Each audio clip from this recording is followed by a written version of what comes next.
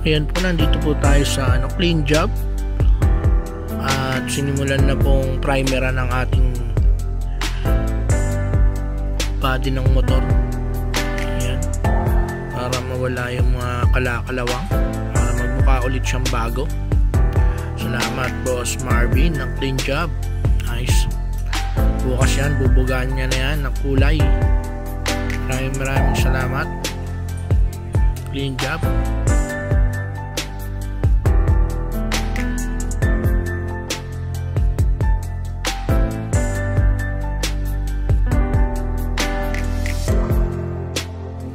So, ito nga.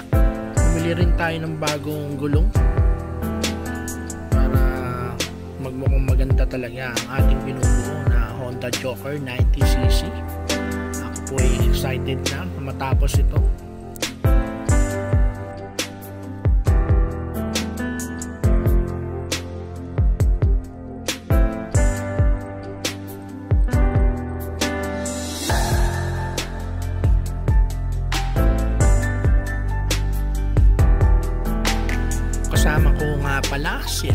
Jollibee.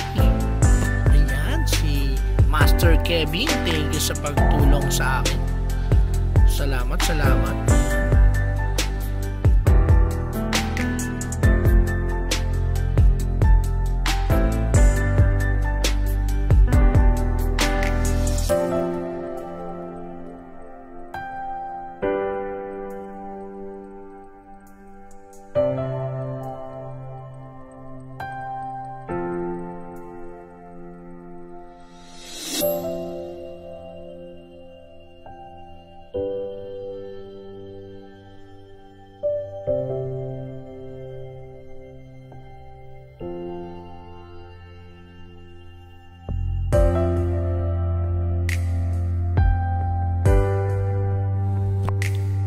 So bumili rin nga po pala tayo ng ano, bagong belt, bagong ply ball, bagong pulley.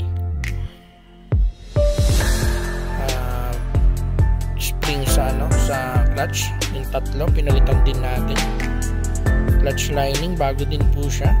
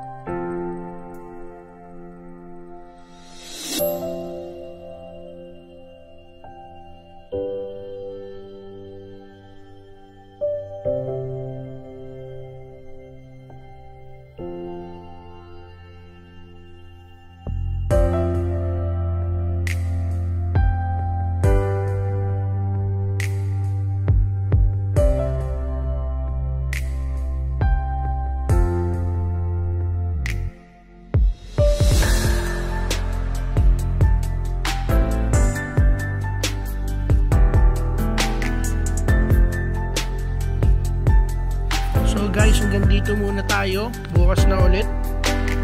Ayan, ready na natin yung makina. Try na lang natin yung body.